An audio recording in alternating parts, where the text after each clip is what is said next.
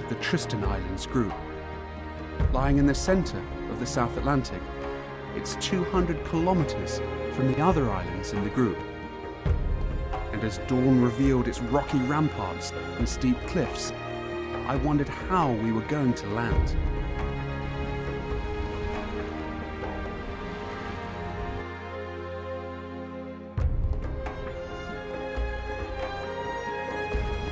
It's uninhabited, apart from a weather station.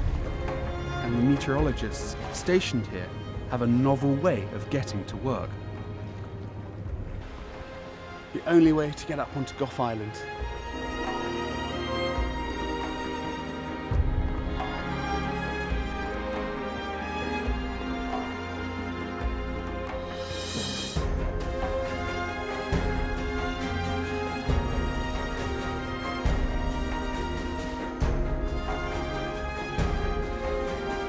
What a way to get up onto one of the most remote islands in the world. Incredible. Gough also has its own unique species, found nowhere else in the world. The ancestors of the Gough moorhen somehow managed to find their way to this remote spot where it evolved into a new endemic species. Now, it's almost flightless. All islands are precious for wildlife because of the way evolution works on such small and isolated specks of land. Islands are crucibles of evolution, engines that drive the emergence of new plant and animal species. Many plants and animals evolve on islands in unusual and unpredictable ways. Many island species become giant or miniature. Birds and insects often lose their wings and become flightless. Crabs take over the land, and strange plants, such as these tree ferns, become dominant. This happens because island life has adapted to new habitats, new niches, new food sources, and the absence of usually dominant species and predators. But these factors that created island life also make those same island species exceptionally vulnerable. One of the most vulnerable is the Atlantic yellow-nosed albatross.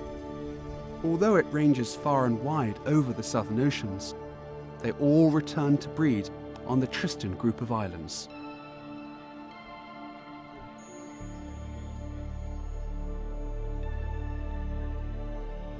Here, they raise their single huge chicks amongst the endemic tree ferns.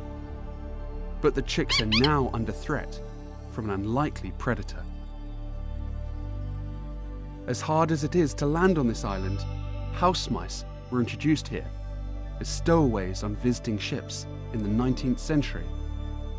And within the past two centuries, they have evolved to exploit an abundant source of protein the albatross chicks.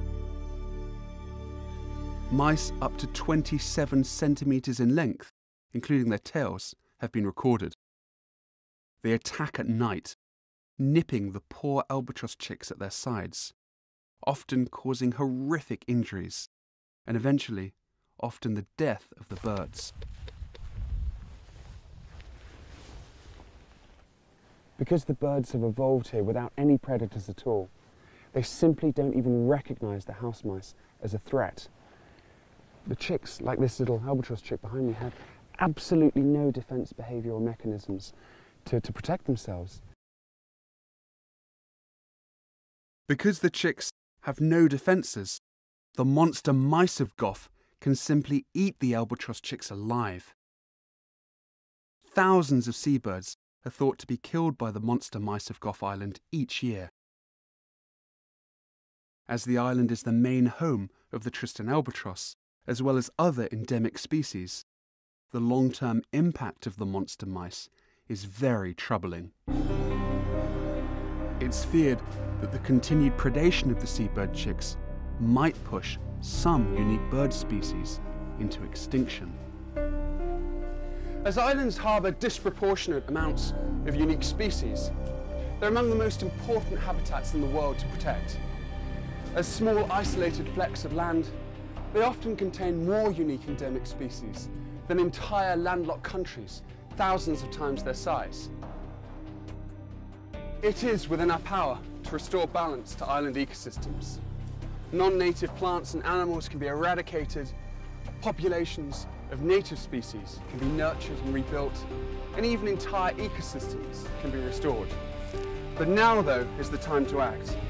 The coming decades will reveal whether these miniature, unique worlds are lost forever or preserved for the future.